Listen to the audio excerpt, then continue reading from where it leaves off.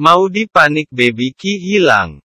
Love Story The Series episode 634, keluarga besar Maudi dilanda kepanikan, setelah mengetahui Baby Ki hilang. Bibi Inah yang merupakan pembantu senior di keluarga Argadana, dengan nada cemas mengabarkan, bahwa Baby Ki telah hilang diculik.